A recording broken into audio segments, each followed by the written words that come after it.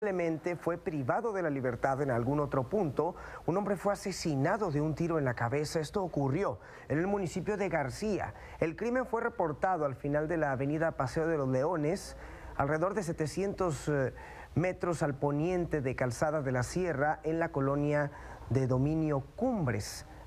Tras el hallazgo, elementos de la Guardia Civil confirmaron que la víctima, una persona de aproximadamente 35 años, era de tesa perlada, complexión regular y de cabello corto castaño. Esta situación ya está siendo investigada por las autoridades.